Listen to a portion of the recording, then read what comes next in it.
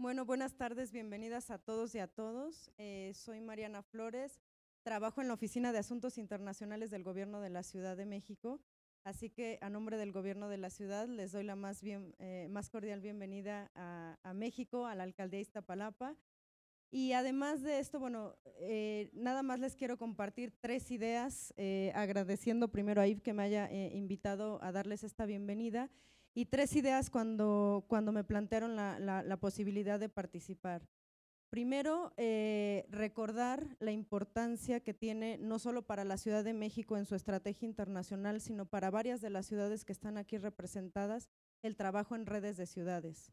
Eh, la Ciudad de México es muy activa en varias de ellas, eh, por ejemplo, el Fondo Mundial para el Desarrollo de las Ciudades, que desde 2012 tiene aquí en la Ciudad de México su oficina regional para América Latina, y que eh, en ese marco hemos intentado eh, generar distintos espacios de reflexión, oportunidades para que actores eh, públicos, locales, puedan intercambiar con el sector privado, puedan intercambiar con las instituciones de financiamiento y desarrollo, etcétera. Y por ejemplo, el próximo año, que les extendemos de una vez la invitación, seremos sede del Foro sobre Economía Social y Solidaria en octubre de 2020, entonces, digamos que a través de este trabajo en redes, la ciudad ha eh, facilitado que las distintas áreas puedan tener esta vinculación con, con, otras ciudades y con otras instituciones. Luego, la segunda idea que me parece muy importante es, eh, digamos, el objeto de, de esta conferencia OIDP, y que es la participación ciudadana. Parece eh, que es muy evidente y muy fácil, pero pensemos en una ciudad con, con, la dimensión que es la Ciudad de México, 9 millones de habitantes más 22 millones en su área metropolitana. El gran desafío es cómo logramos eh, tener metodologías que nos permitan que la participación ciudadana sea realmente representativa en un monstruo de ciudad como es este, pero también mecanismos para que una vez que ya tenemos esa participación realmente sea efectiva ¿no? para la toma de decisiones. Entonces creo que eh, este espacio, la conferencia de OIDP, nos puede dar pistas interesantes de cómo eh, vencer este desafío, ¿no? de las metodologías, de los mecanismos, cuando hablamos de ciudades grandes o pequeñas, que realmente esa participación tenga un impacto y que no generemos falsas expectativas, digamos, en los ciudadanos. Me parece muy importante. Y creo que estas sesiones van a ser muy útiles también al gobierno de la Ciudad de México en su conjunto, porque hay una ambiciosa estrategia desde este gobierno de, fortalecer, eh, digamos, las estrategias de, eh, de lucha o de combate contra el cambio climático en adaptación y mitigación, que es eh, el propio objeto de esta sesión, a través de estrategias como fortalecer la biodiversidad, como recuperación de ríos, cuerpos de agua, etcétera, entonces, creo que va a ser muy útil esta sesión para nosotros para ver cómo integrar el componente participativo en estas estrategias que ya se están implementando y que obviamente son prioritarias para la ciudad. Entonces, eh, para mí es por eso muy importante y de verdad agradezco mucho la oportunidad que, que me dieron para, para poder presentarlo porque creo que más allá del intercambio que se pueda dar entre nosotros de buenas experiencias y de los desafíos que hemos tenido en nuestras ciudades, creo que va a ser muy importante identificar estas oportunidades de colaboración muy particulares. Entonces, muchas gracias, Yves, y adelante.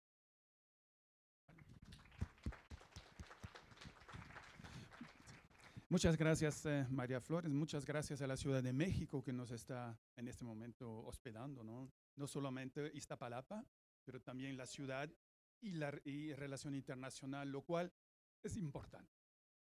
Bien, eh, bienvenidas a todas, todos que están aquí. Em, veo que todo está funcionando con un poquito de atraso, pero estamos todos en una sesión que es única. ¿Por qué es única? Es la primera vez, la verdad, que va a existir un, pues un encuentro sobre el tema del cambio climático y viendo cómo las ciudades están desde los presupuestos participativos, desde ámbitos muy diferenciados, eh, enfrentando esos desafíos. La suerte que tenemos, y por eso el tiempo va a ser bastante acotado, es que tenemos 12 presentaciones del mundo entero. Entonces, para los mexicanos que están aquí, pero también para todos nosotros, es una oportunidad única. El otro aspecto que es bastante único también es que tenemos desde representaciones y presentaciones desde municipios. Varias experiencias municipales van a ser presentadas. Es el caso de Metz, de Burdeos en Francia. Es el caso de Valongo y de Águeda. Es el caso en Portugal. Es el caso de Burdeos, que ya mencioné, de Molina de Segura, en fin, municipios. Tenemos también la suerte de tener representantes de redes de municipios para ver cómo ellos lo están eh, trabajando.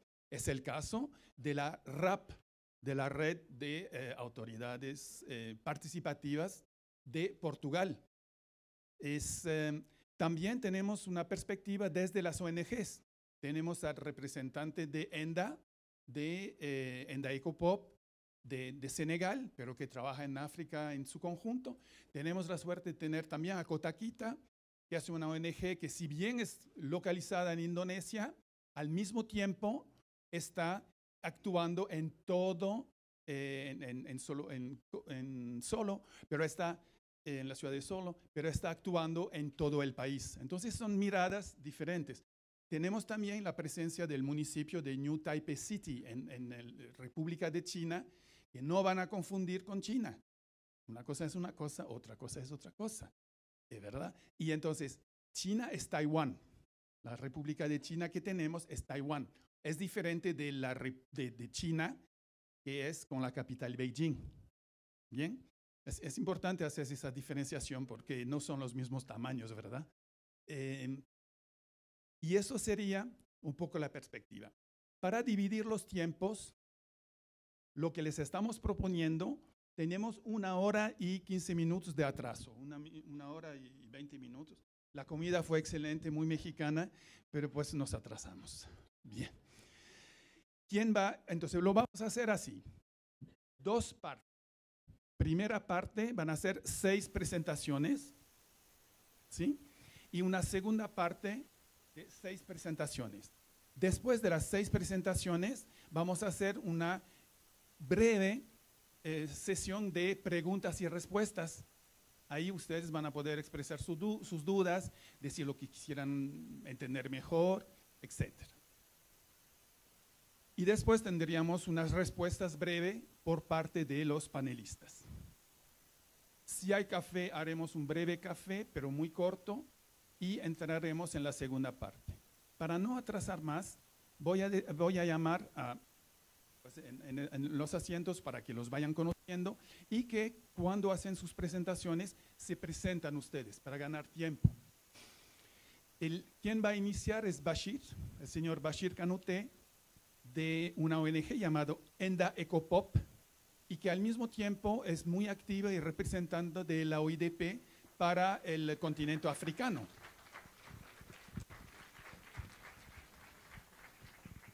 Tiene una es importante porque pues ENDA fue los, fueron los pioneros en hacer el primer manual sobre presupuesto participativo y cambio climático. Y, entonces es importante notarlo. Después vamos a tener la, suerte de tener al señor eh, José Manuel Pereira Ribeiro.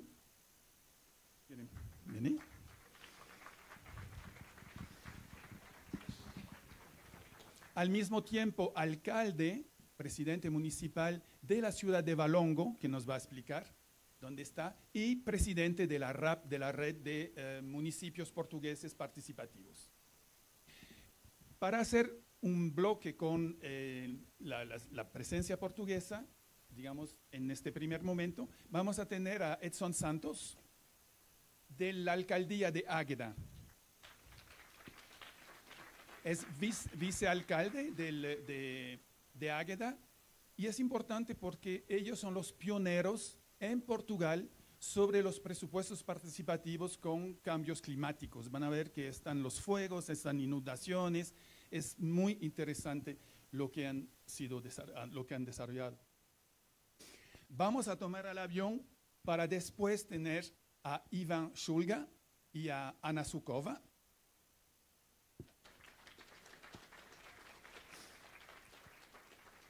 que vienen de, Rusia y han sido verdaderamente los actores, entre los actores principales para una expansión extraordinaria, di- diría, eh, extraordinaria de los presupuestos participativos rusos. Trabajan en la oficina del Banco Mundial. Eh, quisiera completar que dentro de esas miradas múltiples sobre el tema, tenemos organizaciones internacionales, en este caso el Banco Mundial, pero tenemos también, no lo mencioné, a Eimerick Remont, que, va- que está dentro de una organización europea que apoya iniciativas de cambios climáticos. Esta haría parte de la segunda, del segundo bloque. Y terminaríamos, no, continuamos con el señor Chen Yulin, que probablemente masacre el nombre, eh, que es del vicealcalde de New Taipei City. You, eh, you- yeah, you- you- you- you can take my things away. Um, u- una ciudad extremadamente importante en términos climáticos que están trabajando de cambiar de la energía nuclear a una energía mucho más verde, eh, muy innovadores y que trabajan en el tema de... eh, ya, super. En- y terminaríamos esta sesión, la primera, con dos eh, personas de la alcaldía de Burdeos, una ciudad eh, importante del, eh, de, de Francia, que son Alexandra Ciari y Maël Despuy. Oui.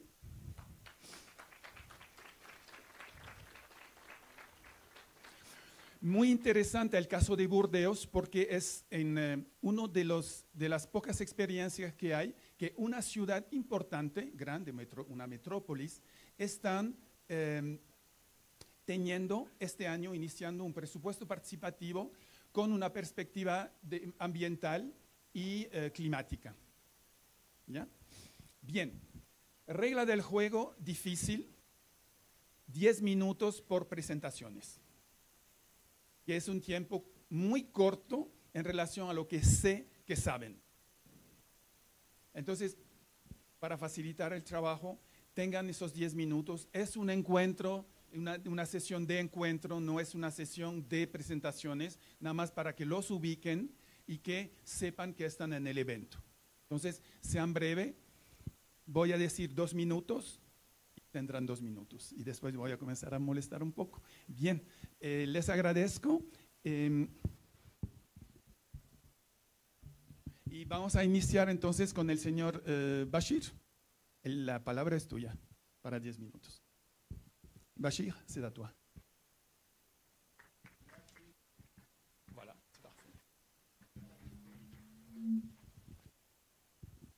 C'est pas la, c'est pas la meilleure heure pour travailler. Chez moi, il est zéro heure. Mon corps est en train de dormir. ça va être en français, je m'excuse pour ça.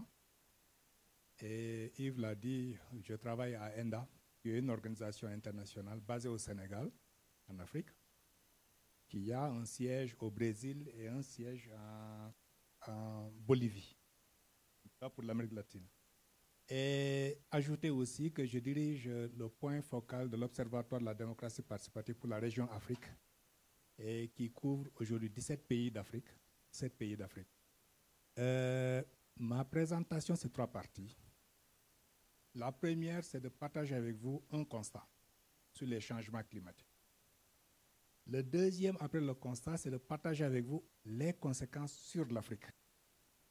Et le troisième, c'est les collectivités territoriales, les villes, comment elles peuvent s'organiser pour faire face. Bon, il va dire que c'est 10 minutes. Donc, euh, je ne vais pas aller dans tous les détails, mais j'ai un livre qui est en français que je pourrais partager. Je pourrais l'envoyer à Yves et ceux qui le souhaitent, ils peuvent le lire. Donc, je vais me limiter peut-être à quelques grands constats. Le premier des constats, c'est quand on dit changement climatique, moi je dis c'est une injustice climatique que nous subissons. Injustice climatique parce que euh, si on regarde les modes de consommation et si on regarde aussi les institutions, ce changement climatique a un impact très fort et très négatif sur ces deux-là. Et cet impact pour l'Afrique, c'est que l'Afrique est responsable de 4%, moins de 4% des émissions de gaz à effet de serre, ceux qui sont responsables des changements climatiques, Mais à contrario, l'Afrique subit de plein fouet les conséquences des changements climatiques, puisque sur les 24 pays les plus vulnérables au bouleversement climat, 15 sont en Afrique. Et pourtant, nous sommes responsables de 4%. Les conséquences de ça, bon, alors vous voyez, ça touche pratiquement toute la partie rouge, hein, avec euh, des conséquences notamment sur euh, plusieurs aspects. Euh, c'est la montée des nappes, c'est la désertification, c'est la déforestation, c'est les catastrophes naturelles, c'est l'érosion côtière. Hein, et tous les points que vous voyez, c'est des points rouges hein, qui subissent de plein fouet ces changements climatiques-là. L'impact, c'est quoi? L'impact, c'est sur la sécurité alimentaire. De plus en plus, l'Afrique est en train de subir cela, euh, notamment en termes de baisse de la fertilité des terres, de salinisation des sols. Les sols, l'eau est en train de s'infiltrer et de saliniser les sols. Donc, l'agriculture est malheureusement en train de, de partir de la désertification. Sur l'habitat et les villes, c'est des inondations fréquentes. Au cours des cinq dernières années, on a pu décompter que 10 villes, grandes villes africaines, ont subi ces changements climatiques, notamment en termes d'inondation. C'est aussi euh, l'exode rural, notamment les populations qui quittent les zones côtières, les zones rurales pour aller s'implanter en ville, avec tout ce que cela va créer comme bouleversement dans les villes. Du point de vue économique, c'est euh, euh, des impacts sur l'économie et la crise de l'emploi. Vous allez entendre de plus en plus des jeunes qui traversent la mer pour aller chercher euh, le bonheur en Europe. Un phénomène qui a malheureusement englouti beaucoup de jeunes et dont la conséquence, c'est notamment une perte de l'emploi, de l'employabilité, mais aussi une perte de la main-d'œuvre valide, notamment pour la pêche. J'ai pu découvrir que dans certaines villes africaines, dans certaines villes sénégalaises notamment, les plus grands pêcheurs qui s'adonnaient à la pêche et qui n'ont plus de pêche du fait des changements climatiques, ces pêcheurs se sont transformés en convoyeurs de jeunes pour traverser l'océan et aller les amener en Europe, avec malheureusement tout ce que cela représente, avec des jeunes qui se perdent dans l'océan. C'est l'effondrement des institutions publiques. Alors ça, c'est quelques images en Afrique avec les inondations un peu partout. Et c'est des villes différentes. C'est le Sénégal, Yves, certainement que tu ne reconnaîtras pas cette image-là, puisqu'en 2007, c'est là où on a lancé le budget participatif au Sénégal. C'était un hôtel qui est aujourd'hui abandonné. C'est au Congo et c'est aussi en Tunisie. Donc, aucune région de l'Afrique n'est épargnée par ces changements climatiques. Alors, pour faire face à ça, je dis c'est important que les collectivités et les territoires puissent s'organiser. C'est à ce niveau que le travail aura un impact, notamment en termes de d'adaptation. Et pour le faire, je dis c'est nécessaire aujourd'hui que les villes, ça fait partie de la conférence. C'est important de bâtir un pacte local entre citoyens et euh, élus.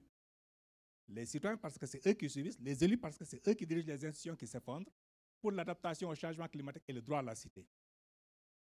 Et c'est dans ce cadre qu'on a produit ce guide-là dont Yves parlait tout à l'heure, guide qui, euh, qui a été édité depuis deux, euh, trois ans maintenant et que nous avons introduit dans les 17 pays, en tout cas euh, en Afrique.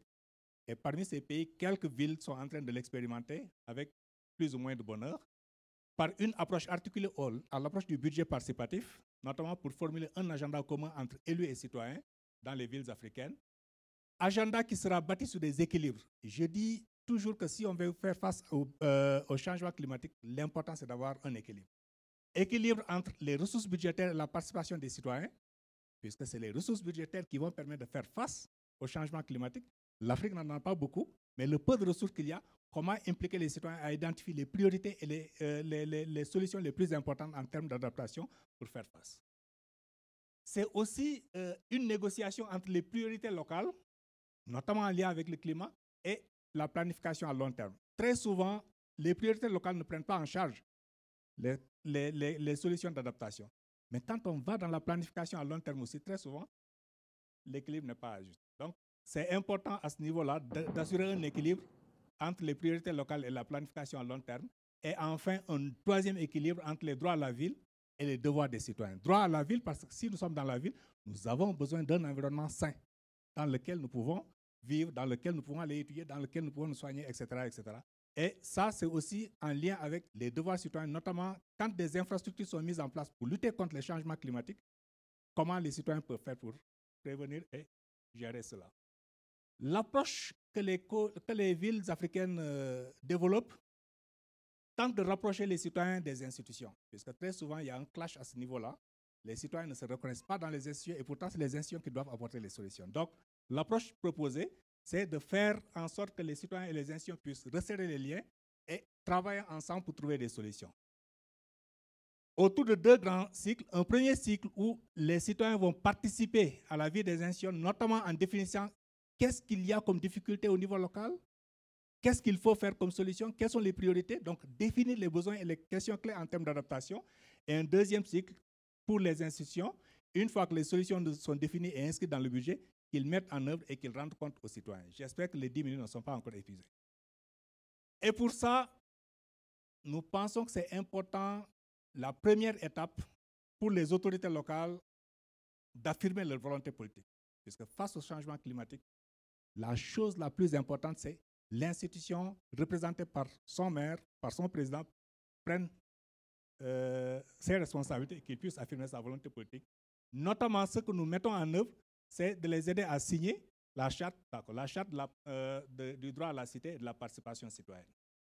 Une fois que cela est fait, c'est des forats citoyens qui permettent de définir sur les territoires où ils sont, quelles sont les difficultés qu'il y a, quelles sont les priorités.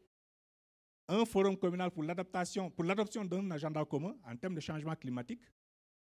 L'inscription de cet agenda dans le budget local, l'exécution et le suivi participatif, notamment avec l'implication des citoyens. Ces solutions qui ont été mises en œuvre dans quelques villes, là c'est notamment à Koutiala au Mali, qui est un pays frontalier du Sénégal. Voilà la situation qu'ils avaient en termes d'inondation dans les quartiers. Et voilà la solution qui a été apportée, notamment par l'agenda commun qu'ils ont pu adopter. Au Sénégal, Rufisque, voilà la situation qu'il y avait avant, notamment en termes d'inondation là aussi. Et voilà la solution qui a été apportée. Bon, ce n'est pas encore clean, clean, mais au moins ça permet d'avoir un environnement où les citoyens peuvent, euh, peuvent vaquer à, leurs euh, à, leur, préoccupations et peuvent avoir aussi un environnement. Yves, vous m'avez dit 10 minutes. J'espère que je me suis inscrit dans mes 10 minutes. Je vous remercie et s'il y a des questions, je suis là. Merci.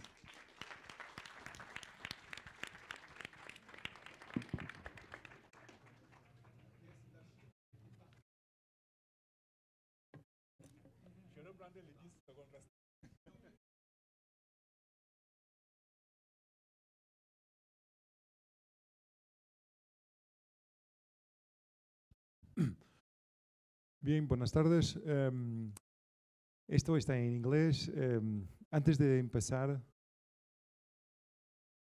sí. Sí, sí.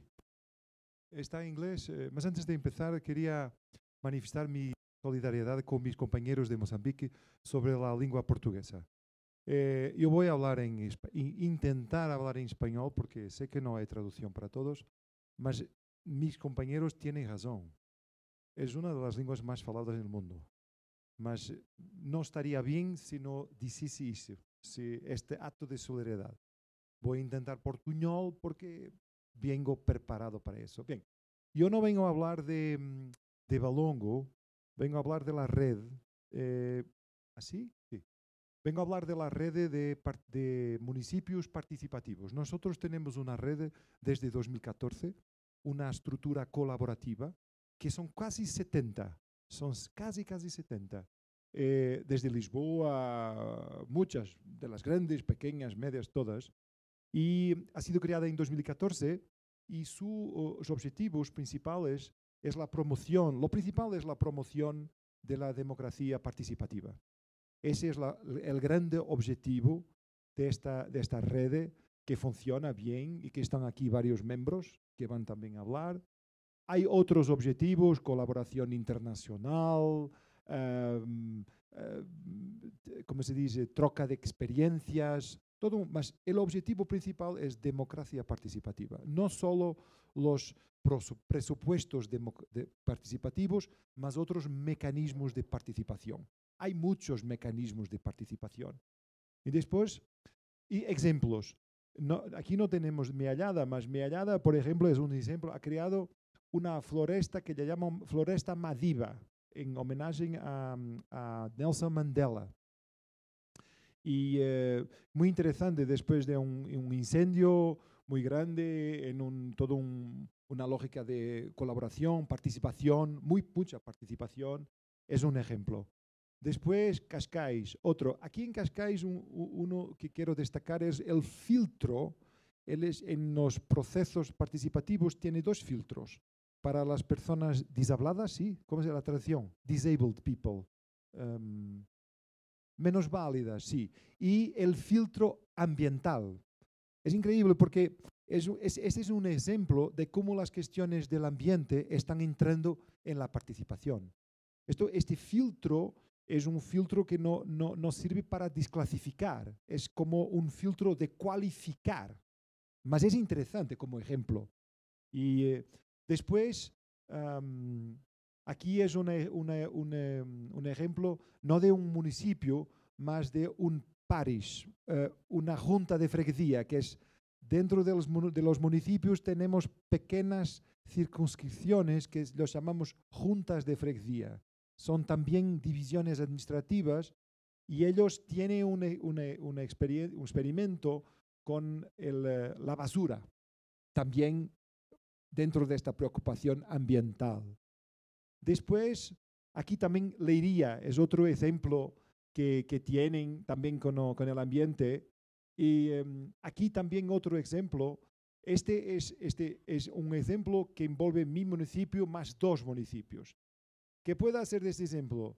Tres municipios se han juntado y han creado un parque verde en la área metropolitana de Porto con 60 kilómetros cuadrados. Y toda la vida de este parque, que tiene, este parque tiene tres años, eh, envuelve mucha participación de las personas, mucha, de las escuelas, de los padres, de las madres. eh, el- el- todo el plan de, de, mm, regulación ha sido muy participativo con la universidad. Entonces es también un ejemplo. Hay muchos ejemplos. Y eh, bueno, este es para terminar, no son 10 minutos, es un minuto y medio eh, para facilitar el trabajo de, de Iblo- Iblo- a todos.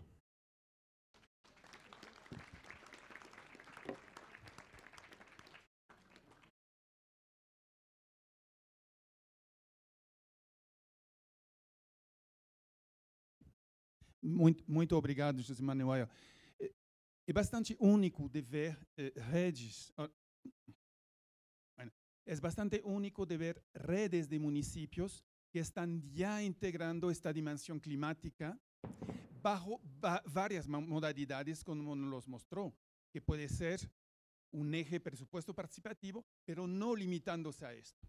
Y desde este punto de vista, creo que la red es muy creativa porque es abierta, no tiene un solo mecanismo, sino más bien escucha y fomenta la participación de varios tipos, porque, bueno, nuestro tema es presupuesto participativo, pero hay muchísimos más mecanismos de participación para enfrentar los desafíos climáticos.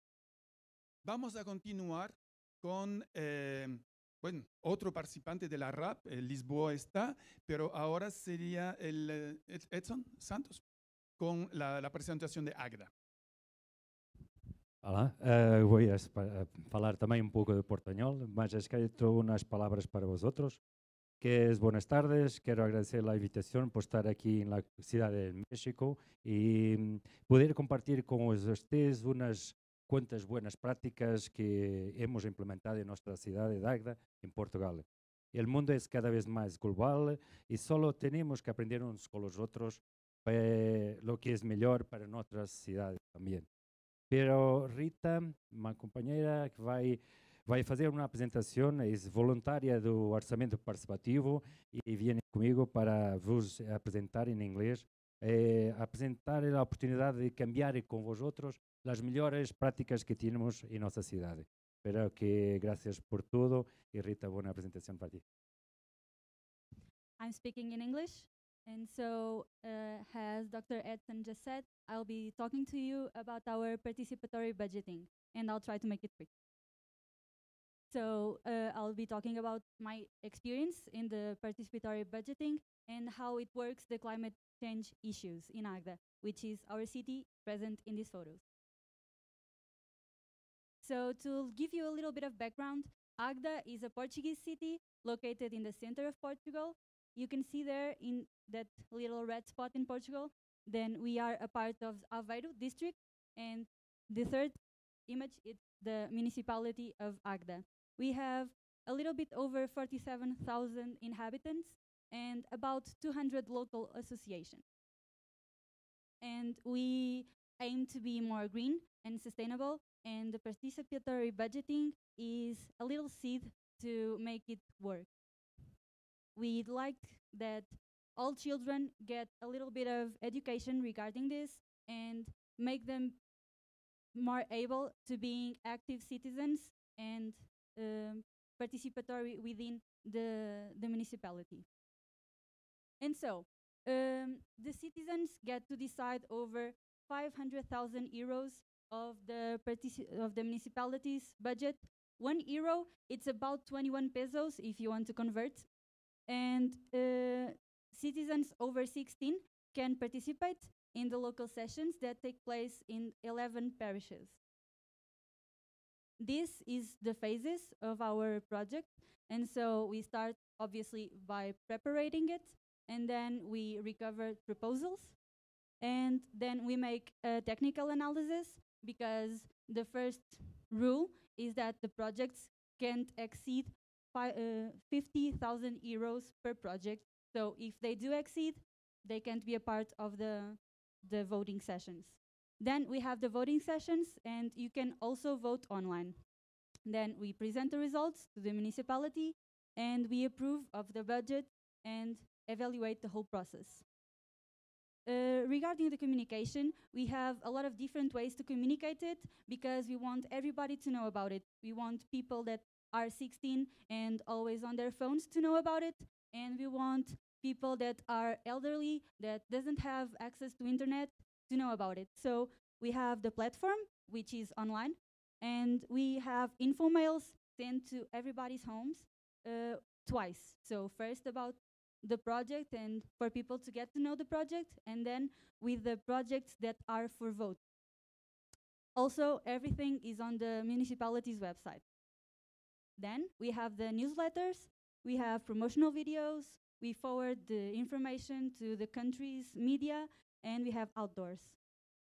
And we are always working to make it better. Every year, we want to make the process better. So these are the 19 projects that were to vote in the last uh, participatory budgeting session, which took place in 2017 and 18. And of the 19 proposals, uh, we recovered 3,386 votes, and 12 of the projects won because the whole uh, budget was that much that didn't get to the, the top budgeting that we had for the for the participatory budgeting. So as Yves said, we suffer a lot with wildfires during the summers because our municipality is 60% forest. And we also suffer from floods uh, during the winter times, specifically downtown in Águeda. But this issue has been kind of solved. We made a new pathway for the river to flow, and so this doesn't happen as much. And so we ask everybody in the municipality to help us a little bit, give ideas to improve and not have so many so many fires or floods. And these are two of the winning projects that actually um, are encountered in our action plan to climate change that was approved by the municipal assembly which is the staircase that makes the staircase in, is located in a small village, mostly where old people live, and so it's very hard for them to get to the top from the bottom and the bottom from the to the top. and this provides them a pathway that doesn't um, doesn't harm the soil and doesn't permeabilize the soil. And the walking trails make for just we have a lot of forest, and so making walking trails just opens the area for people to go there and visit there and just get to know it better. Then we have these two projects that also won, which are the Botanical Park and the Leisure Park. And these projects, these projects um, also are in our plan and also meet some of the SDGs in, for example, promoting the cleaning and the water lines and controlling the invader species because we reforest these, these places with native flora from Portugal. And also, um, we have another SDG for the creation of public spaces that people can go to and enjoy in. And this is a mega tank for firefighting because this this was actually the the project that got the more votes. This was the first winning project, and it will help a lot for the fires because because it's located in a hard to get area, and so the firefighters and the tanks can just go there instead of coming all the way to the city to refill with water. They just go there, and it helps combating the fires. And it implements all these actions that are on the third measure of our plan. This is our green team. These are photos that we took in the different parishes, in the different sessions, and we are not green just because we wear green. We are actually green. We go in electric transportations, we don't use paper, it's everything made online on the tablet. And we supply native trees to burnt areas, and also our consumables are all recycled. And also, whenever we have the session, we eat local, so we promote their economy locally. This is uh, our team volunteering in a local of reforestation action after the 2016 fires that uh, burned over a week the whole area, and so then we planted native trees there. This is the same, and actually, just pointing out because he's not here, this is the municipality's uh, mayor. And the participatory budgeting has changed mentalities in Águeda, and people are gathering in new associations uh, to promote and to to just bring awareness to the climate issues. As you can see in these photos, these are very recent, last month. You have the 2nd of November and the 15th. It's a river that goes in, Ag- in Águeda, and it was very dirty. And so the municipality invested, and now it's not so dirty. So because there's no planet B, we have to think global and start by acting local. Thank you so much.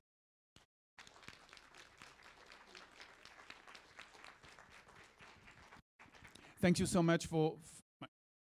Muchas gracias por esta presentación y creo que nos está trayendo, qué bueno que hayan podido venir primero, porque fue de última hora, sé que fue complicado. Muchas gracias, eh, lo quería insistir. Y creo que lo que nos aporta es toda una dimensión que en el clima a veces no se habla lo suficiente, que es todo el tema de la juventud. Han escuchado mucho de las manifestaciones por los jóvenes, las jóvenes, bueno, la famosa Greta, creo, ¿no? Eh, que está captando esta atención y la presencia en Águeda de un equipo joven, de la cual haces parte, de una práctica que no se limita a hacer esto, pero que tu propia vida es más verde, cómo se comportan. Creo que es un ejemplo para muchos de los jóvenes que están aquí también, para que hablen con- contigo y que expliques cómo en su cotidiano están también participando en esto. Muchísimas gracias. Ahora vamos a cambiar. Bueno, dejamos un poco de Europa, pero todavía estamos y vamos para Rusia para escuchar a Ana Sukova y a Ivan Shulga. Diez minutos entre los dos, entiendo. Ivan. Thank you very much, Chief. Okay, I wonder if I should speak Russian because my native language. No? How many of you knows Russian? Ah, some people know, but not many. Okay, next time. I'll be speaking terrible English, so be prepared. Anyway, it's I, I mean it's really great to talk about climate, about climate issues under these fantastic climate conditions. So you know, in Russia, in many regions right now we have like 40, 40 degrees, 50 degrees below zero. So having such conferences outside wouldn't be possible at all. So I'm really enjoying being, here. Thank you very much. Do you have a presentation on screen? Ah, okay. We have it here. I would like to start with these two famous pictures. I believe that all of you know these pictures. On the top, you can see uh, wildfires from Amazon area, and you know about it. And uh, below it, we have pictures from Siberia. I guess you've heard about it, right? So, you know, in both cases, uh, these wildfires destroyed a territory which is which equals to Belgium actually. So it's a tragedy. It's a tragedy. What can we add to this? You know, my only point would be that we try to address these issues in a traditional centralized way, right? And it didn't work. It didn't work. It didn't work well. So what can we do? What can we do more? What can we do in a more decentralized way? Let's see. What PB has to do with it? Uh, we would like to demonstrate you something really little what we do now in Russia in terms of PB. But before we go further, I would like to give you some general ideas how PB is organized in Russia. We started quite a long, long ago, so we started 15 years ago. And right now, we already have 60 regions that implement participatory budgeting. It's like 70% of the whole territory of Russia. You can see it on the map. Uh, in addition to regional experience, we also have municipal experience. The number of municipal experiences is like 60 municipalities that implement PB. So we have quite a long history of implementing PB in Russia.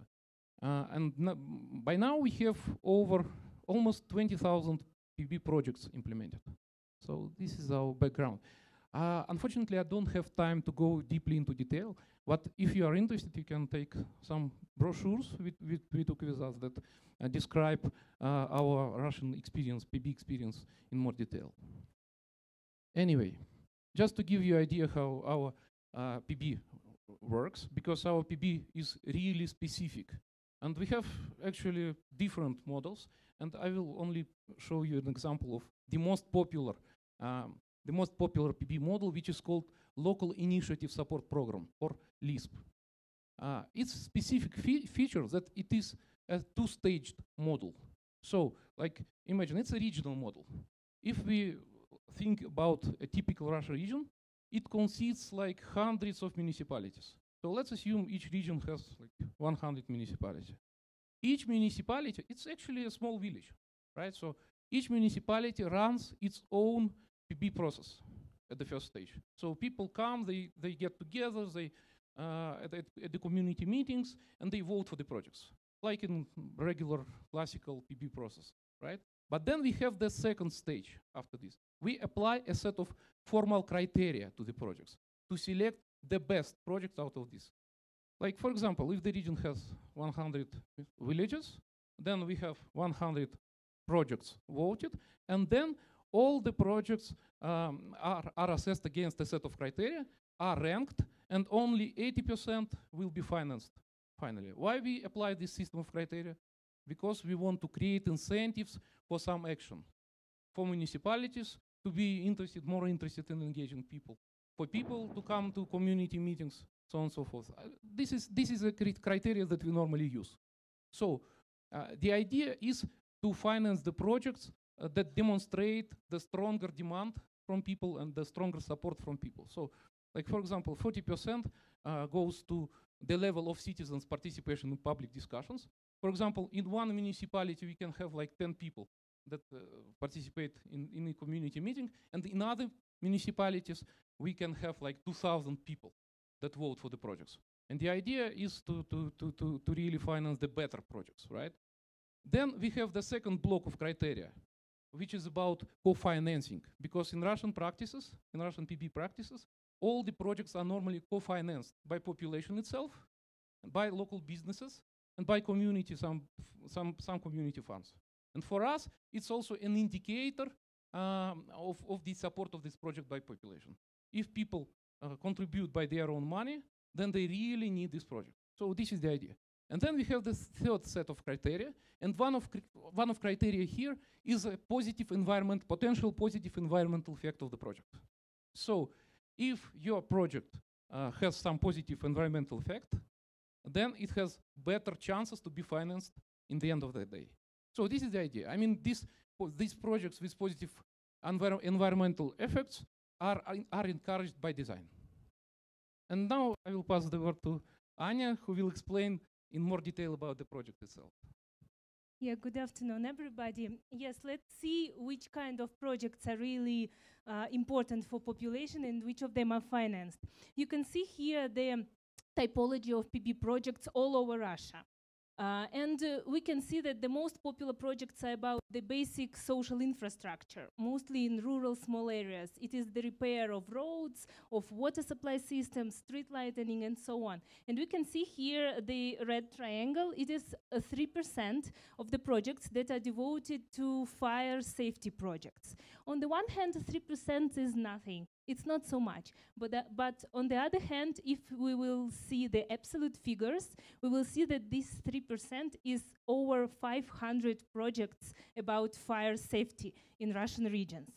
And if we will look the example of the concrete region, this is the Republic of Bashkortostan, and they have the more or less the same typology of projects and exactly the same 3% of projects about safety uh, about fire safety. And it is 20% per one region annually that that is devoted to fire safety projects. And it, this is really important uh, problem for the population.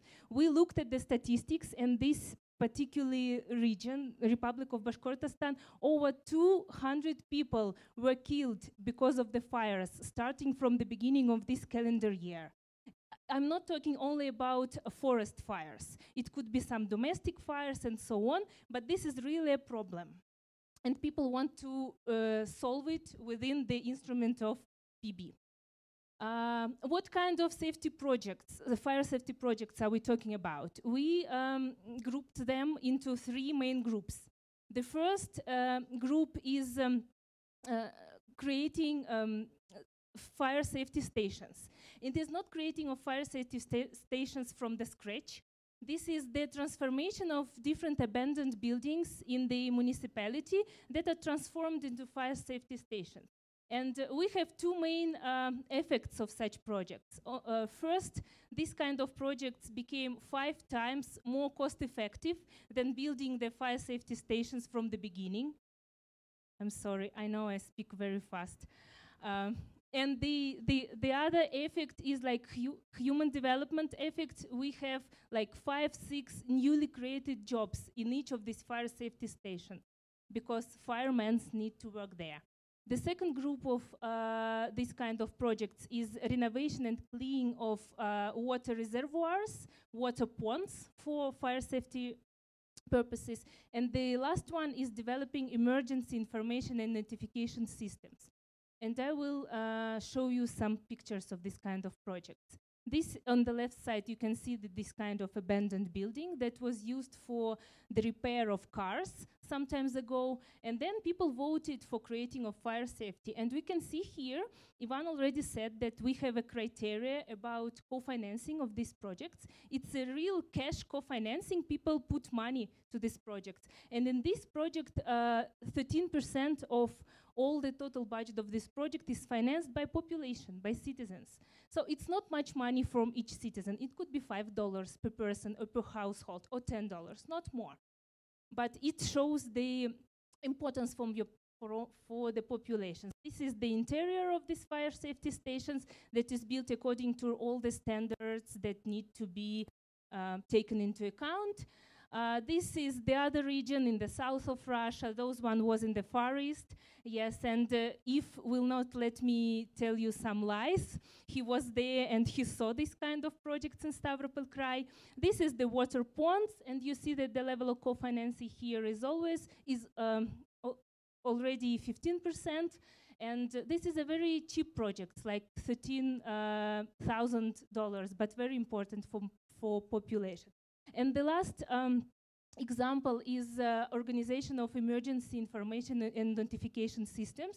They are used not only for the fire safety purposes notifications, it could be floods or some other things. Um, people voted for the big screen in the center of the rural village, and uh, 23 um, loudspeakers in, in in all the streets of the uh, village that could notify people in case of emergencies. But also this project has an income generating effect because people can ask municipality, for example, to celebrate somebody with a birthday or with a wedding, and they, they need to, to put some money.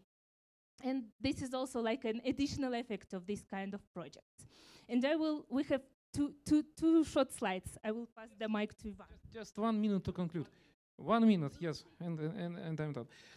Well, PB is not just about the specific projects. It's much more than, than just specific projects. It's about dialogue, it's about raising interest, it's about drawing attention of policymakers and communities to the issues. And here is just two examples. Here you can see competition of kit arts, and people, in, uh, at, at the stage of information, each municipality launches such, such as fair of projects, you know. And here you can see this competition, which is part of the PB process. So kids are drawing all, all these new projects. And then the last example. Once we implemented like 10, maybe 20 projects like this, uh, these projects started to be supported from the national level. National Ministry of Emergency started to provide in the newly, in the renovated stations, they started to provide uh, fire engines. So it's about also about partnership of all level stakeholders. Thank you very much.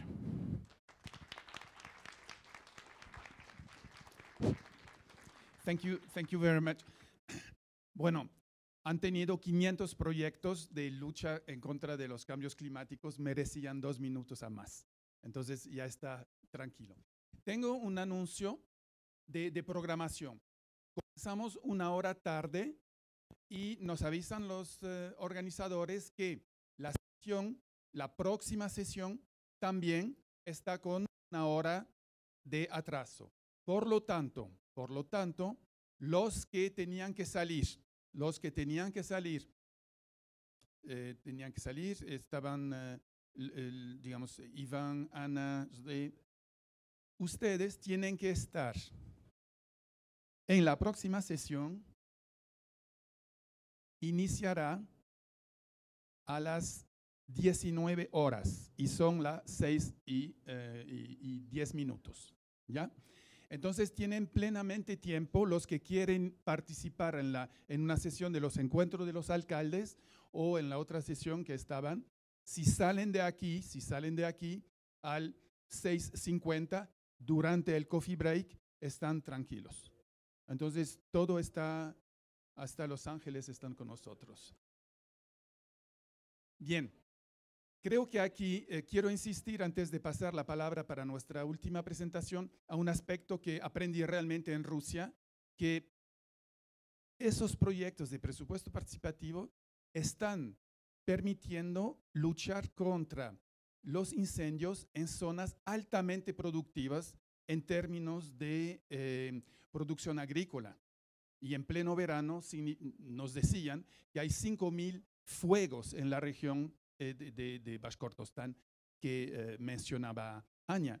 Por lo tanto, pueden ver el impacto de, pro- de proyectos de presupuesto participativo sobre el desarrollo económico, porque con esas pequeñas estaciones muy cerca de los productores apagan los fuegos antes de que quemen todos los, to- todos los, eh, los cultivos. Son millares que están economizados. Y creo que esto es central para entender la importancia de pequeños proyectos de presupuesto participativo frente a desafíos económicos para unas zonas agrícolas. Es formidable lo que han conseguido hacer realmente. Bien, pasamos la, la palabra ahora a nuestro amigo de Taiwán. Thank you, Professor. Uh, good afternoon, uh, everyone. I'll keep short uh, to save time. Um, today, I'm going to share two uh, participatory pa- uh, budgeting cases uh, for energy saving uh, project in New Taipei City. Uh, at first, uh, let me introduce. We're from Taiwan, a small island in this location. And New Taipei City is the new metropolitan city, has been upgraded since 2010. Uh, I always introduce the Taipei and the New Taipei, the difference between the two cities. Taipei is the capital of Taiwan, this area, the green color.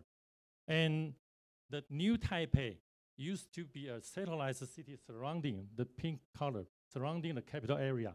And since 2010, uh, New Taipei has been uh, had been upgraded in, uh, to a metropolitan city. Now it's the big, largest city in Taiwan with 4 million residents.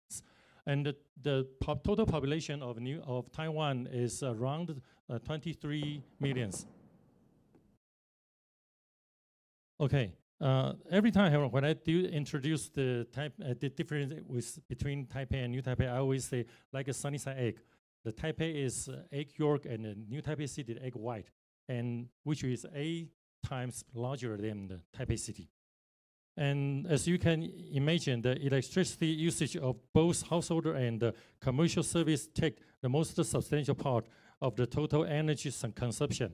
Therefore, the Economic Development Department of the New Taipei City started to apply the participatory budgeting method on several pilot energy saving uh, projects since 2015 to 2017. Uh, I have to intro- uh, shortly introduce the, the idea of uh, participatory uh, budgeting uh, was launched since 2014. Then was the local government election.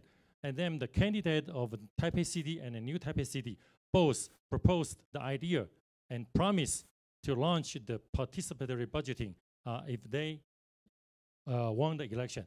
And the both candidates won the election. So the Taipei City and the New Taipei City started to launch those participatory uh, budgeting case.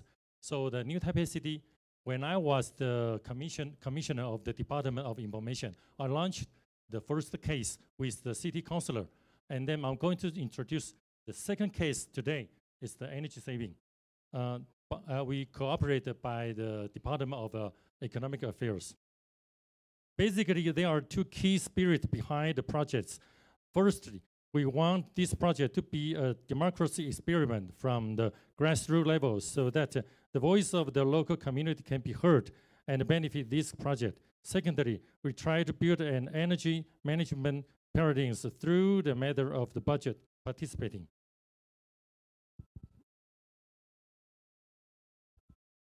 Yeah, so we initiated two projects in the two districts in New Taipei City. There are 29 administrative districts in New Taipei City, and we select two major districts. First is in Luzhou, in Luzhou, which means uh, area alongside the riverbank and uh, is full of the reed. So Luzhou. And the second case in Yonghe, which means uh, peacefully forever. Okay. And in Luzhou, uh, the it was the energy saving project for the householder uh, with the participation of community members. Another one in Yonghe, uh, we focus on the commercial service industry. In both projects, we used to uh, we used the we used the first year to proceed the advocacy and the preparation, and the year two implement implementations. And allow me to start with the case in Luzhou. Uh, Luzhou is the second most densely populated district in Taiwan, with a population density of 27,000 people per square kilometer.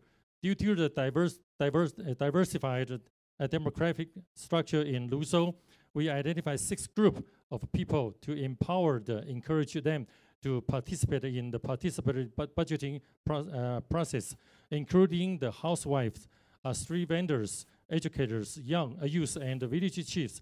I would like to emphasize that uh, since there are many foreign immigrants who marry to Taiwan away from home, most uh, immigrants from Southeast countries, and we sincerely hope that we can build an environment where these foreign daughters-in-law can be equally treated and uh, can feel at home.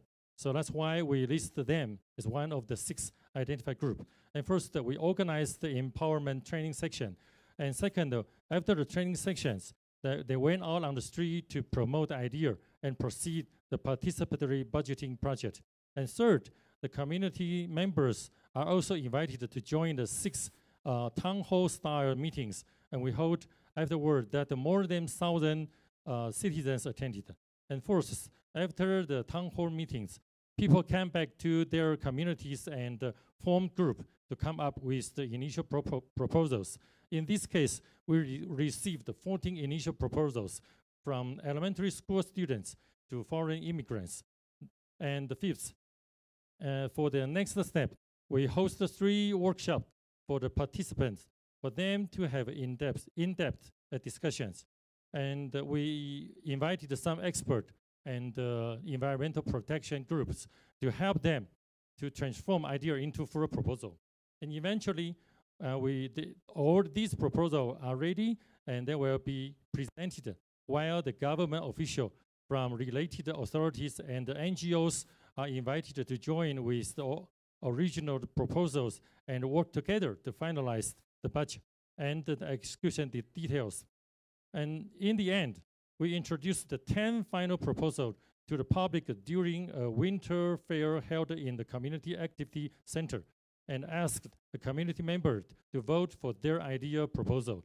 Uh, nearly 1,000 people vote eventually. This is the situation photo. And you can, as you can see, five proposals out of the 10 were selected.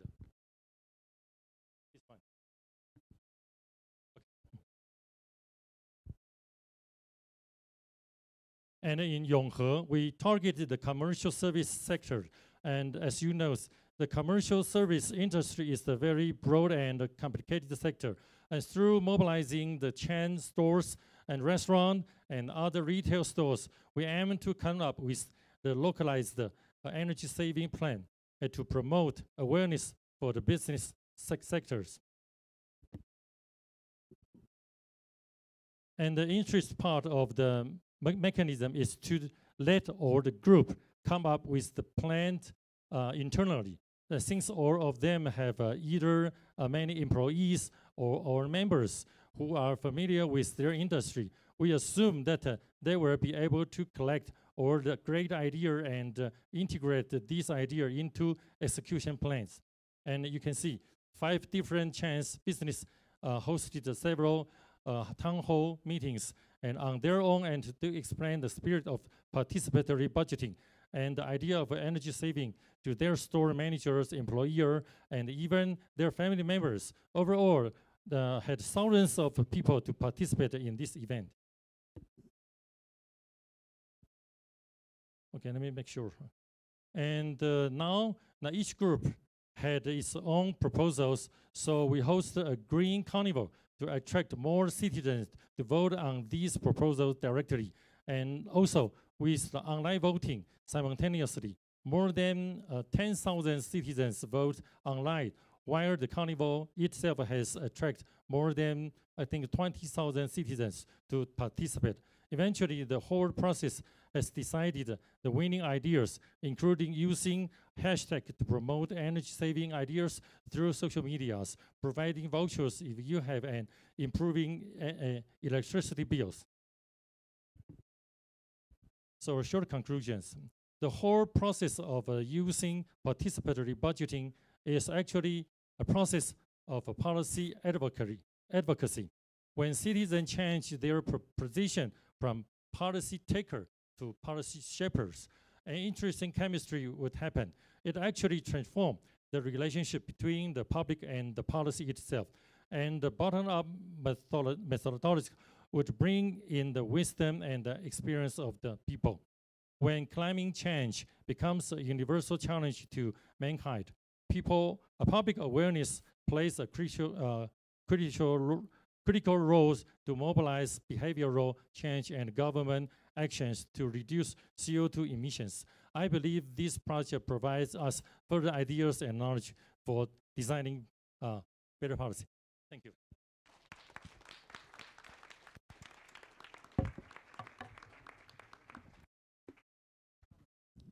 Eh, muchas gracias. Creo que aquí estamos con dos innovaciones que no son comunes en proyectos de presupuesto participativo y todavía menos sobre el tema climático. Eh, uno, estamos viendo que en una ciudad de 4 millones de habitantes, importante en México, eh, están modestamente, se podría decir, comenzando a nivel de distritos. Y eso hace eco a lo que decían de las eh, juntas de freguesía, que del trabajo en, en Águeda o en Portugal, que los presupuestos participativos están desde el nivel distrital, municipal, vimos regiones, regiones, vimos zonas rurales, zonas urbanas. Conclusión, los puntos de entradas sobre el tema climático es relevante en cualquier nivel de espacio. Vimos ciudades de Rufisque, vimos ciudades en Malí, pero vimos distrito, región. Y esto es una gran lección, es que el presupuesto participativo es flexible para tratar los problemas ambientales al nivel donde se presentan. Número uno. Número dos es que en Taiwán han trabajado con empresas para dentro de las empresas trabajar con la concientización de los propios trabajadores y eso no es muy común. Y entonces sería interesante en algún momento saber más cuáles han sido los resultados. Terminamos esta ronda de, presentaciones, este pequeño maratón, eh, con la presentación de Bordeaux, que nos acompañan y entonces tienen 10 minutos también. Merci beaucoup. Bonsoir à tous. Nous sommes heureuses de venir partager avec vous notre expérience de budget participatif euh, à Bordeaux. Nous, comme vous, nous sommes convaincus qu'il faut coopérer plutôt qu'être euh, en compétition. Et nous sommes venus à deux voix. Maëlle, qui est fonctionnaire, et moi qui suis élue, parce que pour mettre en place des budgets participatifs, il faut fonctionner avec ce couple euh, d'élus et de fonctionnaires. Alors, euh, Bordeaux, d'abord, c'est une ville de 267 000 habitants et c'est la capitale régionale de la Nouvelle-Aquitaine, qui est une région d'à peu près 6 millions d'habitants. Et ce qu'il faut savoir, c'est que notre région est l'une des plus grandes régions agricoles de notre pays, une des plus grandes régions forestières, qui compte aussi beaucoup de kilomètres euh, de littoral. Et nous sommes donc dans un niveau de vulnérabilité absolument euh, déterminant. Nous sommes convaincus à Bordeaux nous sommes rentrés dans l'Anthropocène, dans un, un niveau de danger important pour l'humanité du fait de l'érosion de la biodiversité et du réchauffement climatique. Et nous savons donc que Bordeaux aura d'ici 2040 le climat de Séville, sauf que nous ne sommes pas préparés à vivre le climat de Séville. Et nous savons que pèse sur nous, en termes de sécurité alimentaire, mais aussi en termes de ressources en eau, en termes d'organisation sociale et économique, un certain nombre de dangers. Nous avons aussi comme particularité euh, à Bordeaux d'avoir, mais comme toutes les villes et tous les territoires euh, du monde, des héritages. Le nôtre est un héritage puissant, puisque vous voyez là trois de nos grands penseurs qui ont vécu à Bordeaux et qui ont marqué l'histoire des idées dans le monde. Euh, Montaigne, qui fut maire de Bordeaux au XVIe siècle et qui a porté l'humanisme, et donc ce regard de l'autre, cette altérité, le fait de lutter contre toute forme d'inégalité sociale et territoriale. Montesquieu, qui fut le concepteur de l'esprit des lois et donc de la place des institutions pour parvenir à lutter contre ces formes d'inégalité. Et puis le troisième, qui est Jacques Ellul, et qui est quelqu'un qui a fait partie de ces intellectuels environnementalistes qui ont décliné le euh, penser global, agir local. Pourquoi cette petite diapo? Pas simplement parce qu'on est chauvin et qu'on a eu la chance d'avoir ces trois intellectuels chez nous, mais peut-être pour se dire aussi que les budgets participatifs doivent prendre un ancrage sur la mémoire de nos intellectuels, de nos penseurs, de nos scientifiques, et qu'il ne faut jamais les oublier lorsque nous nous exprimons autour de ces questions. Pour nous, le budget participatif, c'est avant tout une volonté politique puissante qui permet de rappeler que c'est bien parce que nos territoires et donc nos populations sont extraordinairement vulnérables que nous ne parviendrons à relever les, déf- les défis qu'à la condition sine qua non de faire en sorte que le plus grand nombre de publics possibles s'intéressent au devenir de l'humanité, donc à la leur, et participent à l'élaboration des politiques publiques. Il était donc fondamental pour nous qu'Alain Juppé, que vous voyez euh, à la gauche, qui fut notre Premier ministre en France et ministre des Affaires étrangères, et puis notre tout jeune maire Nicolas Florian, eh bien, sont les deux promoteurs du budget participatif et que systématiquement, dans chacune de leurs interventions, ils rappellent bien la puissance du réchauffement climatique et la nécessité de faire appel à de la démocratie participative, parmi laquelle le budget participatif est un outil euh, moderne qui réoxygène un petit peu notre démocratie. Et je vais passer la parole à Maëlle pour vous dire comment, techniquement, euh, il faut être d'une exigence radicale pour faire en sorte que la démocratie participative ne soit pas un produit marketing, mais une véritable réalité à laquelle adhère le plus grand nombre des habitants possible. Merci Alexandra.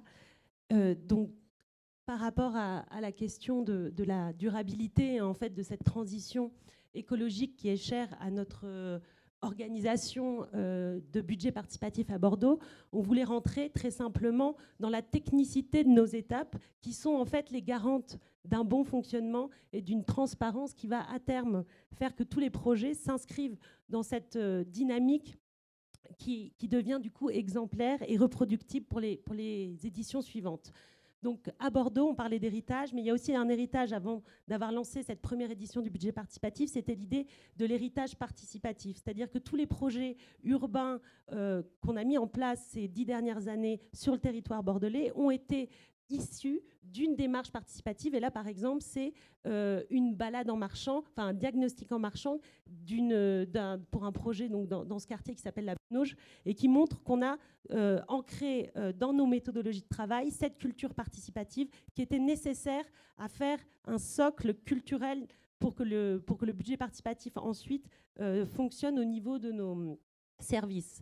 Alors, la première étape du budget participatif à Bordeaux, comme beaucoup d'autres euh, budgets participatifs en France et dans le monde, ça a été le dépôt de projet. Et là, ce qui est intéressant dans cette phase de dépôt de projet, c'est qu'on a voulu euh, faire le pendant de la, participation numérique qui était nécessaire pour euh, accueillir le plus de monde sur ce dispositif, en travaillant au travers d'ateliers très concrets qui portaient l'ambition suivante, c'était de, rendre en image les idées et les projets des, des, habitants qui venaient déposer du coup leurs projets durant un mois.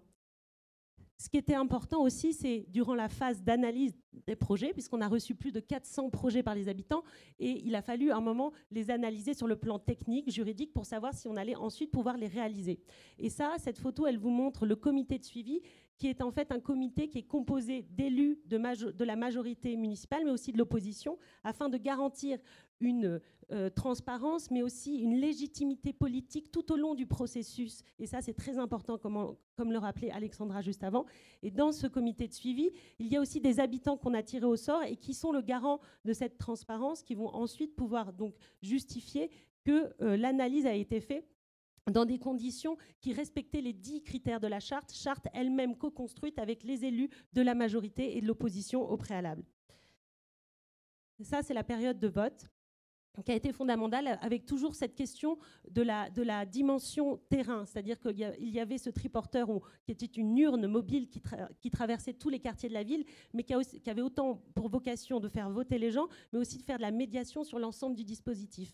Et à droite, vous avez le grand forum, et le grand forum, c'était l'occasion pour les porteurs de projets de venir présenter leurs projets au travers de maquettes ou autres, mais en tous les cas, ils venaient défendre leur initiative pour ensuite porter leur initiative pendant les deux ans qui allaient servir à à la réalisation des projets. Ce qu'on voulait euh, montrer avec le budget participatif à Bordeaux, c'est cette condition euh, tripartite nécessaire à toute transformation durable et euh, à toute efficience dans n'importe quel processus participatif, c'est le fait que les élus, les services et les habitants travaillent de manière interdépendantes et avec une grande lisibilité. Et c'est ce qui s'est passé avec ce budget participatif, c'est que cette organisation tripartite, on l'a, on, l'a, comme préalable à beaucoup de nos politiques publiques, mais parfois on n'y arrive pas. Et le budget participatif, ça permet très très concrètement de mettre ces trois euh, entités autour de la table pour avancer autour d'un projet concret qui va se dérouler dans l'espace public. Et donc, je voulais vous montrer les chiffres clés. Donc, le budget participatif à Bordeaux, c'est 2,5 millions d'euros d'investissement, c'est 10 euros par habitant. Ce sont 407 projets déposés. au final, c'était 134 projets qui ont été euh, soumis au vote et ce sont près de 5% de la population qui ont voté avec 13 300 votes. Et enfin, aujourd'hui, on a 41 projets à devoir réaliser dans les deux ans. Et donc, ces 41 projets, ben, ça, va du projet anecdotique de, des nichoirs à chauve-souris, mais qui permettent de raconter une histoire territoriale très importante sur euh, notamment euh, un savoir-faire technique où on a appris que les nichoirs étaient... combien de- étaient indispensables parce qu'en fait, ils avaient fait revenir une biodiversité très forte, euh, dont certaines espèces d'oiseaux qui avaient disparu sur la ville de Bordeaux. On a mis en place euh, tout un, travail, un, plan de plantation d'arbres fruitiers dans toute la ville. L'occasion de se rappeler que euh, au 19e siècle, avant le plan d'aménagement euh, qui a transformé la ville de Bordeaux, il y avait des arbres fruitiers dans la ville. Merci. Il y avait des arbres fruitiers dans la ville qui ont été petit à petit transformés par des arbres d'ornement avec toute la culture hygiéniste qu'on connaît des villes européennes. Et ces arbres fruitiers servaient en fait auparavant à nourrir euh, les pèlerins qui notamment passaient par Bordeaux pour aller, euh, euh, pour aller sur les chemins de Compostelle. Donc c'était intéressant de voir que au travers du budget participatif, on a aussi eu l'occasion de retrouver une histoire territoriale qui participe aussi à la, notion euh, de transition écologique. Et ça, ce sont donc deux autres projets parmi les 41 que je voulais vous montrer dans leur dimension artistique euh, et leur dimension euh, de biodiversité assez forte, à la fois sportive, puisque ce sont des, murs d'escalade qui vont être installés dans l'espace public, et une prairie fleurie qui va occuper un terrain en friche actuellement dans un, dans un territoire en transformation et que l'on va euh, planter d'ici une quinzaine de jours à Bordeaux. Je vous remercie pour votre attention.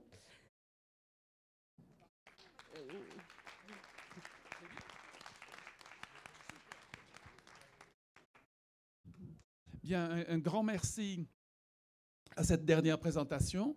Tout le monde a été dans les temps. C'est vraiment un plaisir que d'être ensemble. Euh, on a encore un peu de temps peut-être pour faire un tour de, questions. E uh, on- ja, ten- temos de- 10 minutos ainda, an- antes de... Está todo organizadinho. Está bem. Eh, eh, les propongo que hagamos, si tienen preguntas para este, nuestros panelistas, que las hagan. No sé si hay un, un micrófono que está circulando. ¿No? Entonces vam- vamos a usar este. ¿Quién quiere comentar o hacer preguntas? Veo Jai aquí. ¿Quién más quiere hablar o hacer comentarios? ¿Sí? Eimerick. Hay otro. Hay, ah, veo, sí. Tomás, este, José, ¿sí? ¿Me, me ayudas con el- sí? Ya ven. Entonces, el, el señor Jai, ¿sí? Vamos a comenzar. Tenemos cuatro inscritos, no sé si hay más personas. Sí, y una quinta que no conozco. Y ya estaríamos con esas cinco preguntas. Pasamos la palabra a los panelistas, cerramos un cafecito rápido y nos regresamos y hay algunos que se van a ir. Ya. Jai. Hello, uh, thank you, Eve. Thank you, uh, speakers. I, I'd like to thank you for very interesting presentations and also for keeping the time. However, I'm left with one very big question in my mind, um, which is none of you referred to the climate crisis, that within a certain time frame, the temperature is expected to rise by two degrees, maybe three degrees. And the resulting um, effects of that, such as rise of water level, increase in wildfires, etc. Um, in other words, contingency planning for an intensification of the climate crisis. How is participatory budgeting addressing that? Thank you. Thank you. I, I suggest we, we continue. Um, Which else? yes, José. Muchas gracias. En toda la presentación me ha mm, tenido muy cautivado un hecho importante. El cambio climático está muy relacionado con el derecho al saber y con la información veraz de todo lo que supone el cambio climático en la nueva educación y en nuestras propias vidas.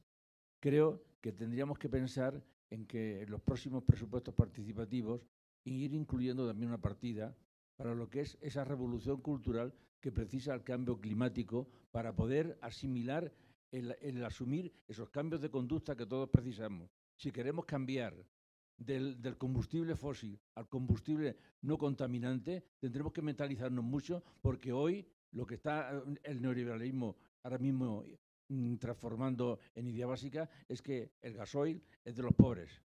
Y estamos precisamente fomentando un voto totalmente en contra de lo que estamos consiguiendo. Con lo cual, no solamente vale el- el- el- la influencia presupuestaria de dedicar unas partidas a esto, sino si no cambiamos la educación, si no cambiamos precisamente la forma de pensar, las FUNIU nos seguirán dominando y nos destruirán. Gracias, eh, José. El- había la, la señora que está con la máscara. Si le pasan el micrófono, pásele le, le- le micrófono. Ah, no. Hola, soy Aurea. Eh, mi pregunta es para los rusos. Me llamó la atención de que para que un proyecto de presupuesto participativo fuera ganador en Rusia, tenían que em, dar los, los, los habitantes dinero, pagar por su presupuesto participativo. ¿Entendí bien eso? Aquí en México, aquí en México, es muy difícil que si tenemos mm, muchas necesidades de cambio climático, los habitantes empiecen a cooperar para, pues, pa- pa- para iniciar su proyecto. ¿Qué, ¿Cómo lo iniciaron ustedes? ¿Que los rusos tienen mucho dinero? No creo, no lo creo, ¿no? Aquí en México no sobra el dinero. Entonces, ¿cómo podemos iniciar un proyecto de cambio climático sin dar dinero? Muy bien, eh, eh, muy buena pregunta. Había eh, Emery, yes. Yeah, Yes, Muchas we- gracias. And thank you very much to everyone for their presentation. My question was around how, um, and I would like to get a bit of your um, ¿Quién va a hablar? your inputs, um, how participatory participatory budgeting can collaborate with the private sector. Um, so Eve mentioned that there was a high benefit from the new fire stations in Russia for agriculture. Uh, so is there a way to bring the private sector involved in agriculture to co-finance these initiatives? Um, and I think Águeda also had uh, projects on parks. Um, how have you ever considered how you could bring in the private sector to help on operation or maintenance of those parks? Um, yeah. Thank you. Yes, um, Thomas. Oui, rapidement, je le fais en français, comme ça c'est encore plus rapide. Je voudrais d'abord vous remercier pour vos interventions et voir que, constater que euh, nous partageons un grand nombre de points de vue, et ça je trouve ça quand même très positif, c'est qu'à travers tous les continents, on partage déjà des principes moteurs. Et je trouve aussi, en effet, euh, comme euh, monsieur vient de le préciser, qu'il est essentiel maintenant que nos outils entraînent la population vers une éducation sur la question de la protection de l'environnement, sur le réchauffement climatique. Et je voulais rebondir en fait sur euh, un des propos, un des visuels qu'on a vu de la ville de Bordeaux, qui rappelle quelque chose d'essentiel en fait, c'est qu'il n'y a pas de participation citoyenne qui fonctionne sans ce triptyque, ce triptyque entre les citoyens, les services et les élus. Et donc je voulais vous remercier de l'avoir spécifié. Bien. Eh, bueno, tenemos una última pregunta acá y otra. No, porque bueno, en la próxima ronda, ¿ya? Vale. Eu vou falar em portunhol. É um pot- é, tá bem. E queria que eu queria diz- confirmar as informações do Senegal, porque as consequências na África são notáveis. Porque eh, estamos a registrar cada vez mais ciclones, acidentes ligados a mudanças climáticas. A minha questão era a seguinte: ligado à eh, gestão participativa, como que os países que contribuem para a de- devastação do clima no mundo contribuem para soluções, para a resolução dos problemas na África? Obrigado. Obrigado. Eh, une- bonne question pour euh, Bachir. Et la dernière. Sí. La última pregunta y, y ya respuestas. Bueno, em, Va- va- comentaron, comentaron algunas de ustedes al respecto de eh, otros mecanismos de participación ciudadana para eh, contrarrestar el cambio climático. si pudieran comentar algún, algún uso de otro mecanismo que no sea presupuestos participativos, porque creo que hay mucho que explorar en lo demás y ya que estamos tocando este tema transversal con los mecanismos de participación, saber si han utilizado algún otro que sea interesante y también preguntarles cómo hacen esa pedagogía con las personas en sus territorios para eh, visibilizar que las responsabilidades del Estado en torno al cambio climático y a las medidas de mitigación, prevención, etcétera, pues no desembocan solamente en el presupuesto participativo. Me parece que, bueno, desde mi territorio hay una línea muy clara donde el presupuesto participativo pues no se utiliza en responsabilidades del Estado, ¿no? Entonces creo que a veces podemos caer ahí como en un, en un espacio extraño donde, pues sí, quisiera, quisiera preguntarle sobre eso. Muy bien. Eh, bien, les propongo que hagamos una ronda de respuestas o de comentarios muy rápidos y que continuemos después en el café para no atrasar la próxima sesión. Y la mala noticia o buena noticia es que no vamos a tener más luz que esto. Ya. Que bueno, nos vemos, pero no, no está tan, tan extraordinario. ¿Quién? Bueno, les circulo el micrófono, vayamos así y cada uno puede hablar. We're going to speak that way, all right? Je voulais répondre euh, à l'intervenant sur les réfugiés climatiques. Et je voulais dire qu'en en fait, euh, il y a de, quand même, l'essentiel des gens sont climato-sceptiques. L'essentiel des gens n'ont pas compris le niveau de danger auquel nous sommes exposés et n'ont pas compris que les réfugiés climatiques seront des millions de personnes.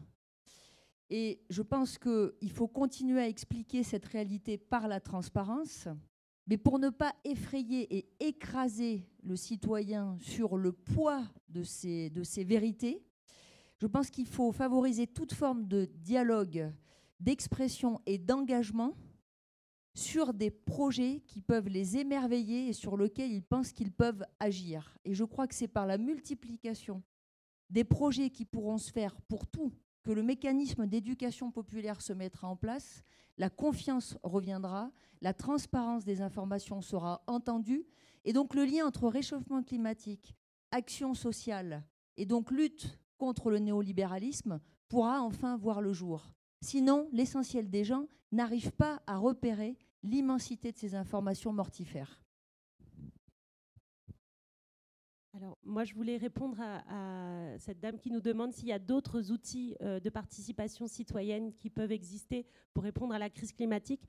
Un très concret qu'on a mis en place aussi à Bordeaux, c'est euh, comme en, France, comme dans plein d'autres pays dans le monde, on a eu énormément de jeunes qui sont mobilisés euh, lors de Friday, for Future, notamment, et qui, se, donc, qui sont descendus dans la rue et, qui ont énormément touché nos élus locaux, nos responsables, et qui avançaient donc un vrai constat de, gravité climatique sans que nous, on soit en capacité à l'échelle locale de répondre à cet enjeu, euh, en tous les cas de, leur répondre à eux. Donc ce qu'on a fait là et qu'on va organiser la semaine prochaine, c'est des workshops avec ces étudiants où on les, fait se rencontrer avec des euh, référents sur tous les sujets euh, tous les grands enjeux climatiques, notamment les déchets, l'énergie, l'eau, la mobilité, l'alimentation, pour qu'on construise en fait un plan d'action très très opérationnel, très concret, surtout à l'échelle locale, à l'échelle de Bordeaux, afin que cette jeunesse engagée pour le climat ait des réponses aussi très très concrètes et surtout se sente utile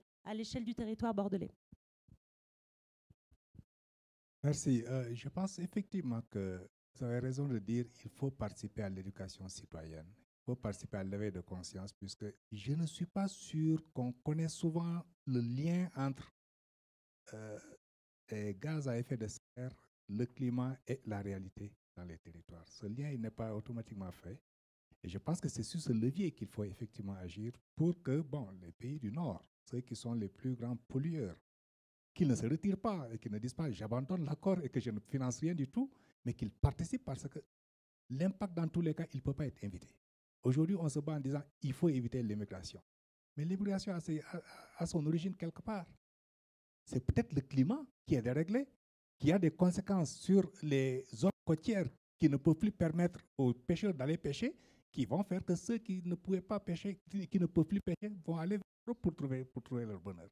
Donc ce lien-là, il faut effectivement participer à, le vulgariser, à le sens- à sensibiliser, à faire lever de conscience. Une des dimensions aussi sur lesquelles nous agissons, c'est euh, comment utiliser le savoir-faire populaire pour arriver à bout des changements C'est pour cela que nous nous insistons beaucoup sur les forums dans les, dans les territoires. Puisqu'on n'est pas uniquement de dire voilà le problème, il faut que l'État trouve la solution. Voilà le problème, il faut que les services techniques. Mais le savoir-faire populaire qui existe sur les territoires, il est important et très souvent, il apporte des solutions très efficaces. Maintenant, ces solutions doivent être accompagnées de ressources financières et c'est cela le rôle des collectivités, c'est cela le rôle des villes et c'est cela le rôle de l'État. Effectivement, l'État aussi a un rôle important à jouer puisqu'il est clair que euh, les solutions durables demandent beaucoup de ressources et ces ressources, les villes ne l'ont pas. Euh, sur les mesures que les pays responsables, euh, de quelle manière les pays responsables contribuent au financement? Non, ils ont mis en place un fonds. hein. Le fonds existe. Mais la difficulté de ce fonds, c'est que les pays africains ont du mal à y accéder. Les pays africains ont souvent du mal à avoir des ressources humaines qui permettent de mettre en place des projets solvables qui permettent d'aller rechercher ces ressources-là. Donc, dans plusieurs pays, on dit, bon, les ressources, les, fonds sont là, mais où sont les projets bancables qui sont montés pour aller chercher? Moi, j'ai dit à mes enfants, ben, il faut aller faire des études sur les questions climatiques, puisque c'est là où demain il y aura de l'argent et c'est là où demain il y aura des emplois à faire pour aller chercher.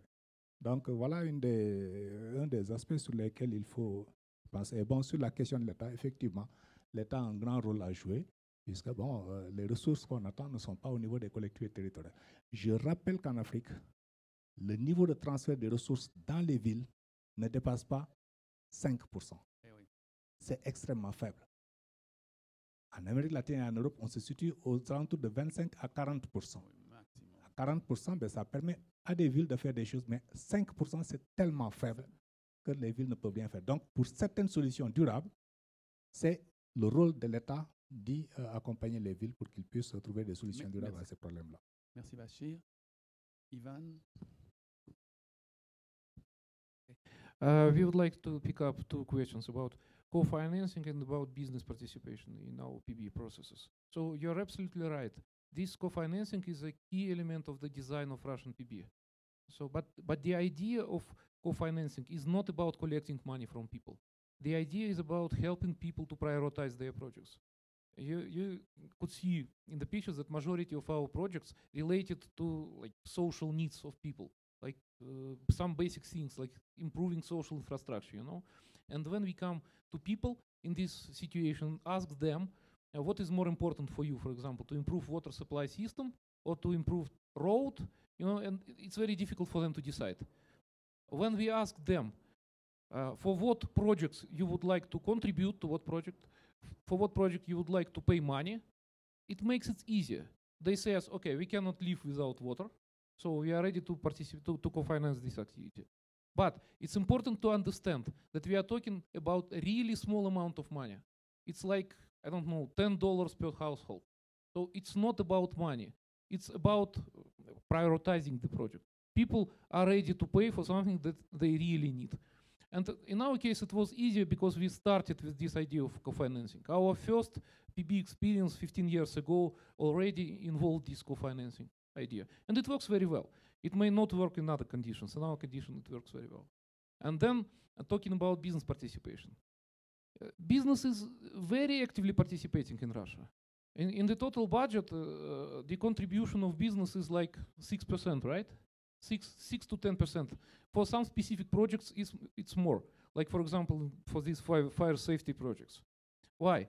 Again, because we have the system of criteria, and if you you um, you managed to engage the business in your project, then you will get bet- higher score, and you will get higher chances for your projects to win.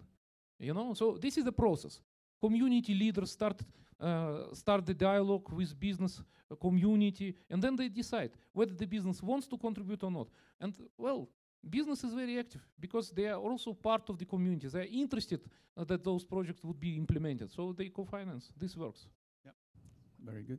Uh, yes, I will just add that in every country and in every of our Russian regions, people always asked us, no, no, no, our people will not co-finance. No, they don't have money, they don't want, and so on. But it really works. So we started from one region, then the second one, then the third one, and, and it works.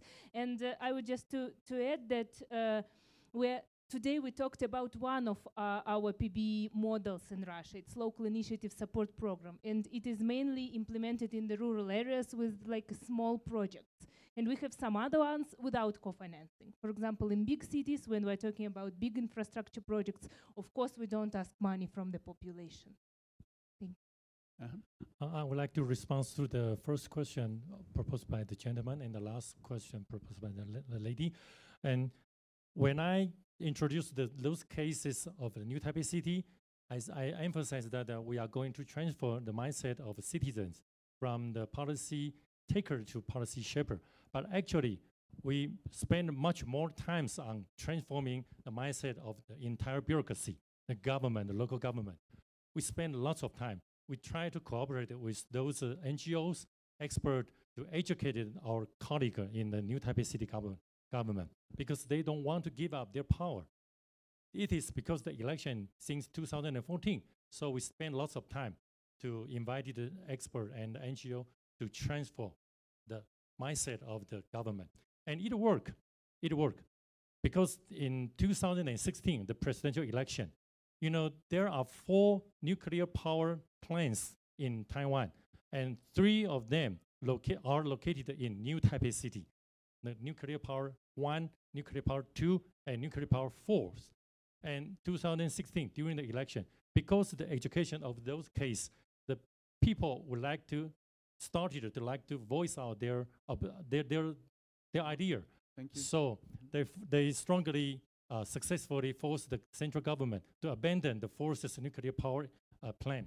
And last year, the local government election, we also successful uh, people successfully forced the government to abandon the new core fire power plant because of those cases. I think those those cases empower the people's awareness, and we will do more effort, and then it, it will become uh, our timetable in 2025 to create our new power plant and to face the uh, climate change issue. Thank you. Thank you very much. Well, um, creo que primero podemos.